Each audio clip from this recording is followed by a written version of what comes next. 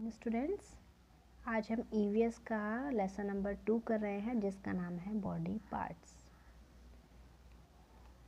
आपको नोटबुक में body parts name heading डालकर बॉडी पार्ट्स के नाम लिखने हैं. जैसे फ़र्स्ट है ear E A R ear ear means can't. Nose N O S E nose means नाक.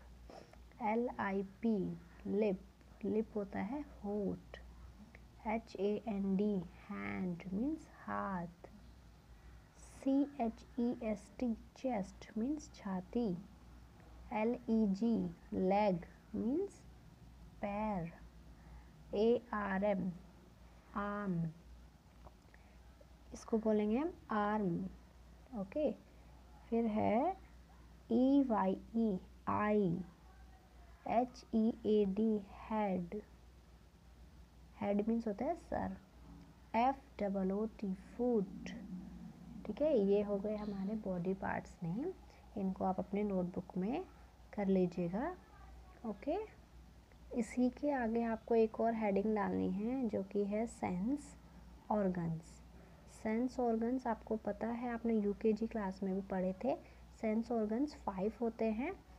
और ये क्या क्या काम कौन कौन से होते हैं ये? नोज़ आइज़ ईयर्स टंग और स्किन ये फाइव हमारे सेंस ऑर्गन्स होते हैं.